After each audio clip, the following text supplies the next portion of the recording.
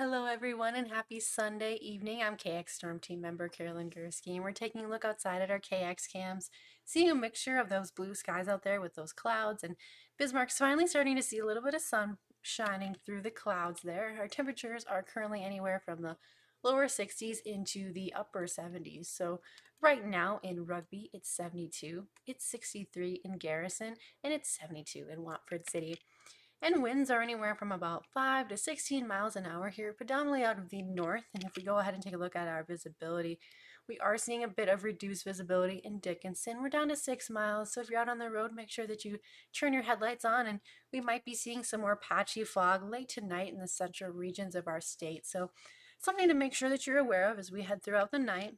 And then if we go ahead and take a look at our satellite and radar, still seeing those showers and isolated thunderstorms. However, as we see from the radar, it's they're starting to get smaller, they're starting to diminish, and that's going to be the trend as we head throughout the night into the later hours. And into tomorrow morning, then we're going to see less of those showers.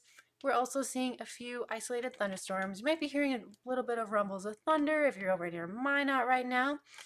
Of course, though, the chances for these showers and storms to turn severe for us, we do have that non-severe threat. So any of these showers and thunderstorms that we're seeing, we're not expecting them to be severe. Of course, the KX Storm team will keep an eye on it though.